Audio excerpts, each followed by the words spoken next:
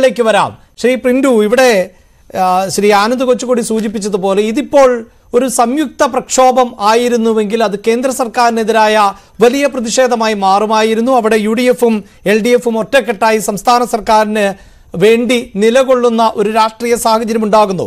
വളരെ വിശദമായ ഒരു കത്ത് തന്നെയാണ് മുഖ്യമന്ത്രിക്ക് വേണ്ടി യു ഡി എഫ് തയ്യാറാക്കിയിട്ടുള്ളത്. അതിൽ ആനന്ദ് കൊച്ചുകൂടി സൂചിപ്പിച്ചതുപോലെ ജി സംവിധാനം അതുമായി ബന്ധപ്പെട്ട വിഷയങ്ങൾ നികുതി പിരിവ് അല്ലെങ്കിൽ ഈ നികുതി പിരിവിൽ ഉണ്ടായിരുന്ന കേരളത്തിന്റെ സാധ്യതകൾ സംസ്ഥാന സർക്കാർ തന്നെ അടച്ചു എന്ന് പറയുന്നുണ്ട്.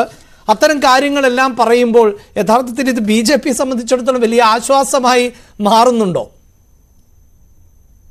സാർ ഇത് ബി ജെ പിയെ സംബന്ധിച്ചിടത്തോളം ആശ്വാസത്തിന്റെ ഒരു പ്രശ്നമല്ല. ഈ ചേട്ടൻ ബാവയും അനിയൻ ബാവയും കൂടി ഈ കേരളം കട്ട് മുടിച്ച് കൃത്യമായ ധനകാര്യ മാനേജ്മെന്റ് ഇല്ലാതെ ഇന്ന് ഈ കേരളത്തെ വലിയൊരു സാമ്പത്തിക പ്രതിസന്ധിയുടെ കുട്ടിമുടിയിൽ എത്തിച്ചിരിക്കുകയാണ്. ഈ സാമ്പത്തിക പ്രതിസന്ധിയിൽ രണ്ട് മുന്നണികൾക്കും കൃത്യമായിട്ടുള്ള പങ്കുണ്ട്. ഇതിൽ നിന്ന് വി ഡി സതീശനും യു ഡി എഫിനും കേന്ദ്രം കേരളത്തിന് നൽകിയിട്ടുള്ള സാമ്പത്തിക സഹായവും കണക്കാണല്ലോ സാർ. അതിൽ ഒരു കൃത്യത ഉണ്ടാവുമല്ലോ. നമുക്ക് എ കെ ജി സെന്ററിൽ നിന്ന് പാർട്ടി ഫണ്ട് പിരിച്ച കണക്ക് പോലെ ഇല്ലല്ലോ. അതിന് കൃത്യമായിട്ടുള്ള സുതാര്യമായിട്ടുള്ള ഒരു മാനേജ്മെന്റ് സിസ്റ്റമാണ് ഇന്ത്യയിലുള്ളത്. സ്വാഭാവികമായി വി ഡി സതീശൻ ഈ കേരളത്തിന്റെ സാമ്പത്തിക പ്രതിസന്ധിക്ക് കാരണം ഇടതുപക്ഷ സർക്കാരാണ് ഞങ്ങളല്ല എന്ന് പറഞ്ഞ് ബുദ്ധിപൂർവം തന്ത്രപൂർവം ഇതിൽ നിന്ന് പിന്മാറിയതാണ് ഇവർ ഈ കേന്ദ്ര സർക്കാരിന്റെ ഏത് തരത്തിലുള്ള സഹായമാണ് കേരളത്തിന് കിട്ടാതിരുന്നിട്ടുള്ളത് സാർ? നിങ്ങൾ നോക്കൂ. കഴിഞ്ഞ പത്തൊൻപതാം തീയതിക്കുള്ളിൽ രണ്ട് തവണ ഇന്ത്യയുടെ ആദരണീയനായിട്ടുള്ള ഇന്ത്യയുടെ പ്രധാനമന്ത്രി കേരളത്തിലെത്തി. കഴിഞ്ഞ പതിനേഴാം തീയതി ഈ കേരളത്തിൽ നാലായിരം കോടി രൂപയുടെ പദ്ധതിയാണ് നരേന്ദ്രമോദി ഈ രാജ്യത്തിന് വേണ്ടി സമർപ്പിച്ചത്. പ്രത്യക്ഷവും പരോക്ഷവുമായി ഇരുപതിനായിരം പേർക്കാണ് സാർ ഈ പദ്ധതിയുടെ ഗുണഭോക്താക്കളായി തൊഴിൽ ലഭിക്കാൻ പോകുന്നത്. ഇതിനു മുമ്പ് രണ്ട് രാഷ്ട്രീയ പ്രസംഗവും നരേന്ദ്രമോദി നടത്തി. അവിടെ സാർ പറഞ്ഞ അദ്ദേഹം നടത്തിയിട്ടുള്ള മുപ്പത് മിനിറ്റും നാൽപ്പത് മിനിറ്റും പ്രസംഗങ്ങളിൽ കേരളത്തിന് നൽകിയിട്ടുള്ള സഹായങ്ങളും വികസനവും മാത്രമായിരുന്നു അജണ്ട. നരേന്ദ്രമോദി സർക്കാർ അധികാരത്തിൽ വന്ന്. സമയത്ത് ഈ രാജ്യത്തിലെ ജനങ്ങൾക്ക് പ്രകടന പത്രികയിൽ പറഞ്ഞ കാര്യങ്ങളൊക്കെ തന്നെ നടപ്പിലാക്കിയിട്ടുണ്ട്. അതിൽ ഏറ്റവും കൂടുതൽ ഗുണഭോക്ത ഗുണഭോക്താക്കളായ സംസ്ഥാനം ഈ കേരളമാണ്. കേരളത്തിലെ ഈ ധനകാര്യ പ്രതിസന്ധിക്ക് കാരണം യാതൊരു സംശയവും വേണ്ട. നേരത്തെ നമ്മളുടെ വസന്ത് പറഞ്ഞല്ലോ. യു ഡി എഫ് സർക്കാർ അധികാരത്തിൽ നിന്ന് പോകുന്ന സമയത്ത് കേരളത്തിന്റെ സാമ്പത്തിക പ്രതിസന്ധി കടം എന്ന് പറയുന്നത് ഒരു ലക്ഷത്തി എഴുപത്തിരണ്ടായിരം കോടി രൂപയും ഇന്ന് പിണറായി വിജയൻ സർക്കാരിന്റെ ഏഴാം വർഷത്തിൽ മൂന്ന് ലക്ഷത്തി തൊണ്ണൂറായിരം കോടിയുടെ കടമുണ്ട്. എന്തുകൊണ്ട് കേരളത്തിന് കടം എടുക്കാൻ സാധിക്കുന്നില്ല? ഒരു ക്വസ്റ്റ്യൻ ആണ്. എന്തുകൊണ്ട് കേന്ദ്ര സർക്കാർ കടം എടുക്കാൻ അനുവദിക്കുന്നില്ല? സാർ അതിലൊരു പ്രശ്നമുണ്ട്. രണ്ടായിരത്തി മൂന്നിൽ കേന്ദ്ര സർക്കാർ വാജ്പേയി സർക്കാരിന്റെ സമയത്ത് പാർലമെന്റിൽ പാസ്സാക്കിയിട്ടുള്ള ഫിസിക്കൽ റെസ്പോൺസിബിൾ മാനേജ്മെന്റ് ആക്ട് ഉണ്ട്. ആ ആക്ട് പ്രകാരം ജി ഡി പിയുടെ ഇരുപത്തിയൊൻപത് ശതമാനത്തിൽ കൂടുതൽ കടമുണ്ടെങ്കിൽ ഒരു സംസ്ഥാനത്തിന് കടമെടുക്കാൻ സാധ്യമല്ല. അത് പാർലമെന്റ് പാസ്സാക്കിയ നിയമമാണ്. കേന്ദ്ര സർക്കാരിൽ ഇനി നരേന്ദ്രമോദി എന്നല്ല നിർമ്മല സീതാരാമൻ തന്നെ വിചാരിച്ചു കഴിഞ്ഞാൽ തന്നെ അതിൽ ഇളവ് വരുത്താൻ സാധിക്കില്ല. അത് മനസ്സിലാക്കാൻ. ചില കാര്യം- അതിന് മുകളിലേക്ക് മറ്റു ചില സംസ്ഥാനങ്ങളെയൊക്കെ സഹായിക്കുന്നുണ്ട് എന്ന ചില ആക്ഷേപവും നിലനിൽക്കുന്നില്ല. കേരളം ഇപ്പോൾ ഓൾറെഡി അതിനു മുകളിൽ തന്നെയല്ലേ? മുപ്പത്തി സാർ മുപ്പത്തി ഒൻപത് ഒന്ന് മുപ്പത്തി ഒമ്പത് പോയിന്റ് ഒന്ന് ശതമാനമാണ് ജി ഡി പി റേറ്റ് നോക്കുന്ന സമയത്ത് കേരളത്തിന്റെ കടം. ഇങ്ങനെ കടമുള്ള സമയത്ത് കേന്ദ്ര സർക്കാർ നോക്കണം സാർ രണ്ടായിരത്തി പതിനാല് മുതൽ രണ്ടായിരത്തി ഇരുപത്തി മൂന്ന് വരെയുള്ള കാലഘട്ടത്തിൽ കേരളത്തിന് നൽകിയിട്ടുള്ള സാമ്പത്തിക സഹായം എന്ന് പറയുന്നത് രണ്ട് ലക്ഷത്തി ഇരുപത്തി അയ്യായിരം കോടിയാണ് സാർ. ഇത് ഞാൻ ഒരു പൊള്ളക്കണക്ക് പറയല്ല. ഐ സി ബാലകൃഷ്ണൻ നിയമസഭയിൽ ചോദിച്ച ചോദ്യത്തിന് ഉത്തരമായിട്ട് ആദരണീയനായിട്ടുള്ള ധനകാര്യമന്ത്രി ബാലഗോപാൽ പറഞ്ഞതാണ്. രണ്ട് ലക്ഷത്തി ഇരുപത്തി അയ്യായിരം കോടി രൂപയാണ് കേന്ദ്ര സർക്കാർ നൽകിയിട്ടുള്ളത്. ഈ കേന്ദ്ര സർക്കാർ നൽകിയ ജി എസ് ടിയുടെ അഞ്ച് വർഷത്തെ മാത്രം പണം എന്ന് പറയുന്നത് അൻപത്തി മൂവായിരത്തി നാനൂറ്റി മുപ്പത്തിരണ്ട് കോടിയാണ് സാർ. ഏറ്റവും കൂടുതൽ ജി എസ് ടിയുമായി ബന്ധപ്പെട്ടിട്ടുള്ള പണം കിട്ടിയിട്ടുള്ള സംസ്ഥാന സർക്കാരിനാണ്. മദ്യത്തിന്റെ വിഹിതമായിട്ട് ഈ കേരളത്തിന് തൊണ്ണൂറായിരം കോടി രൂപ കിട്ടിയിട്ടുണ്ട്. നമുക്ക് നോക്കി കേരളത്തിൽ ജി എസ് ടിയുടെ വരുമാനം മേടിച്ച് ഇവിടത്തെ എൺപത്തിരണ്ട് ശതമാനം പണം ഈ ധനക നമ്മുടെ സർക്കാർ ഉദ്യോഗസ്ഥന്മാർക്കും വരവ് ചെലവിനും അല്ലാതെ ഏതെങ്കിലും ഒരു മേഖലയ്ക്ക് മേഖലയിലേക്ക് ഇവർ ചെലവഴിക്കുന്നില്ല. കടം മേടിച്ച് ഒരു രാജ്യത്തിനെ ഒരു സംസ്ഥാനത്തെ കട്ടുമുടിക്കുകയാണ് ഈ സംസ്ഥാന സർക്കാർ ചെയ്യുന്നത്. ഒരു ധനകാര്യ മാനേജ്മെന്റ് കൃത്യമായിട്ടില്ല. ഈ കെ എൻ ബാലഗോപാൽ പറഞ്ഞല്ലോ പതിനയ്യായിരം കോടി രൂപയുടെ പാട്ട നികുതി പിരിച്ചെടുക്കാനുണ്ട്. എവിടുന്ന്? നമ്മുടെ വൻകിട ബാർ മുതലന്മാരിൽ നിന്ന് പതിനയ്യായിരം കോടി രൂപയുടെ. എന്താ ഇവർ പിരിക്കാത്തത്? ഐ ജി എസ് ടി മേഖലയിൽ നിന്ന് കേന്ദ്രത്തിൽ നിന്ന് മുപ്പതിനായിരം കോടി രൂപ കിട്ടാനുണ്ട്. എന്താ ഇവർ കണക്ക് കൊടുക്കാത്തത്? നോക്കൂ ഐ ജി എസ് ടി മേഖലയിൽ കൃത്യമായിട്ടുള്ള ഫയലിംഗ് നടക്കുന്നില്ല.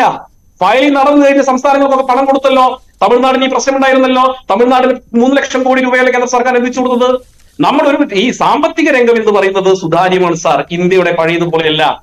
ഈ രാജ്യത്തിലെ മുഴുവൻ ജനങ്ങളെയും സാമ്പത്തികമായിട്ടും നമുക്കറിയാലോ ഈ നരേന്ദ്രമോദിയുടെ സ്വച്ഛ് ഭാരത് എന്ന് പറയുന്നത് ഫിനാൻഷ്യൽ മേഖല കൂടിയുണ്ട് സാർ. വെറും രാജ്യത്തിന്റെ ഏതെങ്കിലും ഒരു ചപ്പുചവർ മാത്രം ക്ലീൻ ചെയ്യുന്നതല്ല. ഈ രാജ്യത്തിന്റെ വികസനത്തിന് വേണ്ട പണത്തെ പദ്ധതികൾക്ക് വേണ്ട പണത്തെ അടിസ്ഥാന ജനവിഭാഗങ്ങൾക്ക് എത്തണം സാർ.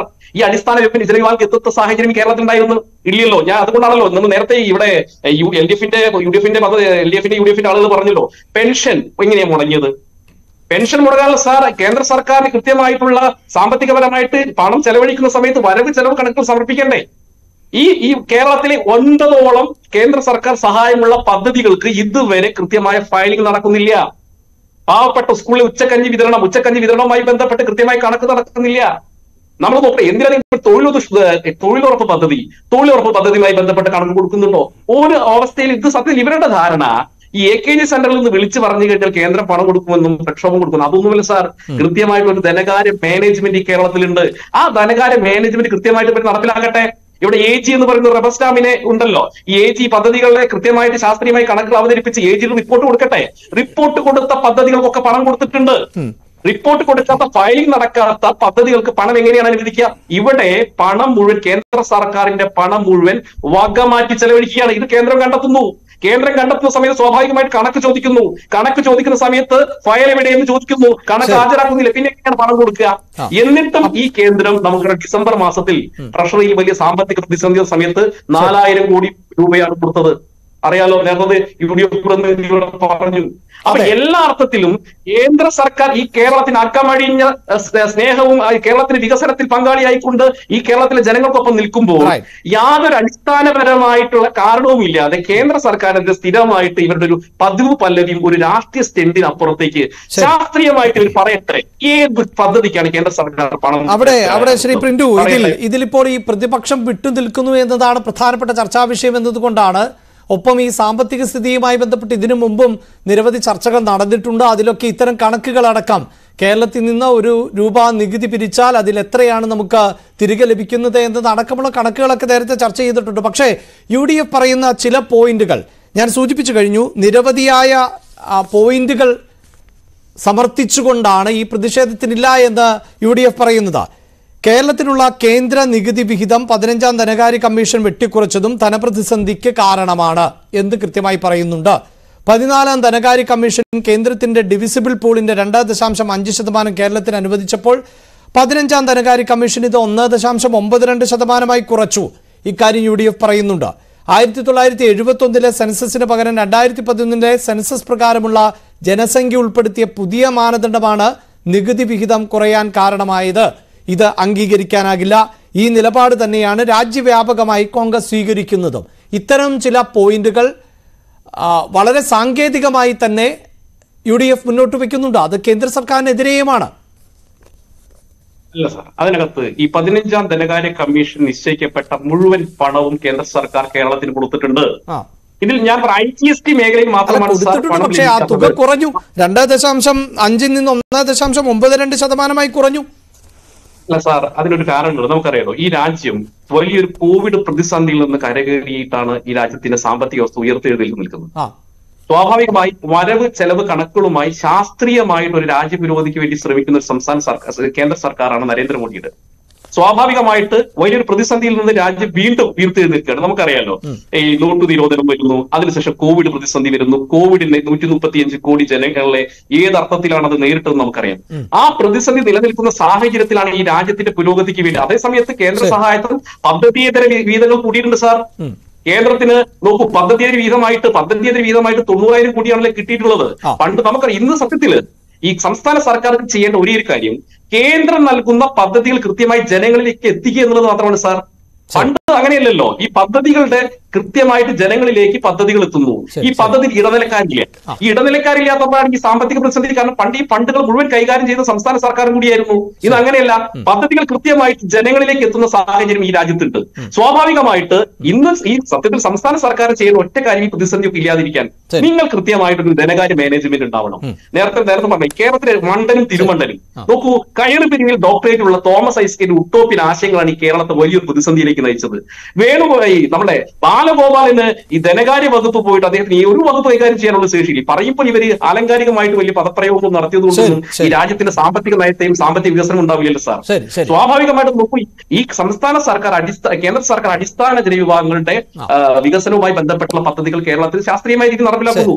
ഒന്നര ലക്ഷം കോടി രൂപയുടെ റോഡ് മേഖലയിൽ ഒന്നര ലക്ഷം കോടി രൂപയാണ് സാർ കേരളത്തിലെ റോഡ് മേഖലയിൽ മാത്രം ഇൻവെസ്റ്റ് ചെയ്തിട്ടുള്ളത്.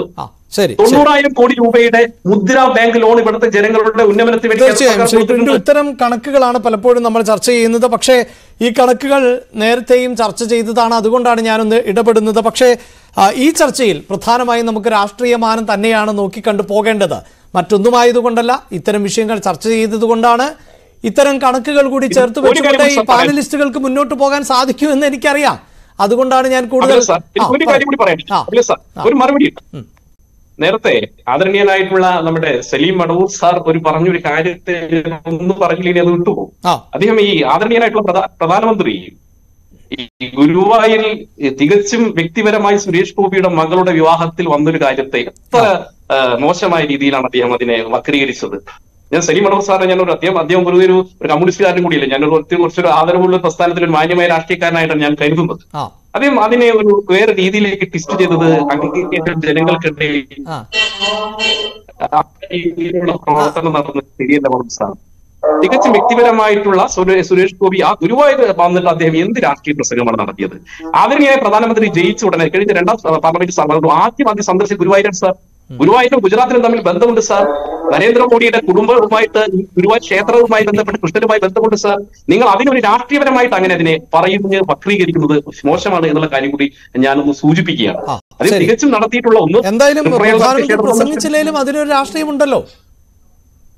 അല്ല സാർ എങ്ങനെയാണ് അതിൽ നമുക്ക് രാഷ്ട്രീയം കാണാൻ സാധിക്കുക? വ്യക്തിപരമായിട്ട് സുരേഷ് ഗോപിയുടെ മകളുടെ വിവാഹത്തിന് വന്ന് ആ ഒരു സ്നേഹ സൗഹാർദ്ദത്തിൽ ആ, പരിപാടി പങ്കെടുത്ത് ഈ ഒരു സഹപ്രവർത്തകനും എം പിയുമായിരുന്ന സുരേഷ് ഗോപി. ആ. വന്നൊരു പരിപാടി നിങ്ങൾ എങ്ങനെയാണ് രാഷ്ട്രീയം അല്ല കാണുക അത് ശരിയായിരിക്കാം. അതിനുശേഷം പിന്നീട് തൃപ്രയാറിലേക്ക് പോയി പ്രധാനമന്ത്രി.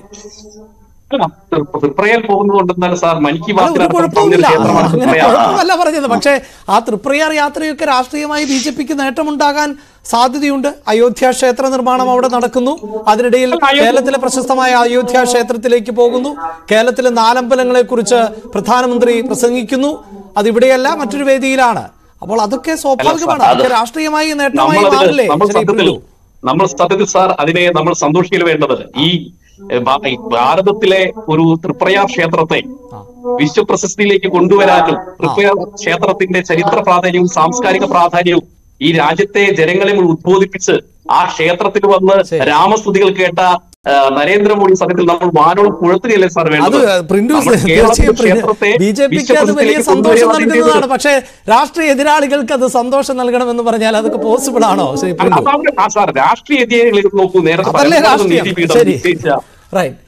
നമുക്ക് ഓക്കെ. നമുക്ക് ശ്രീ സലീം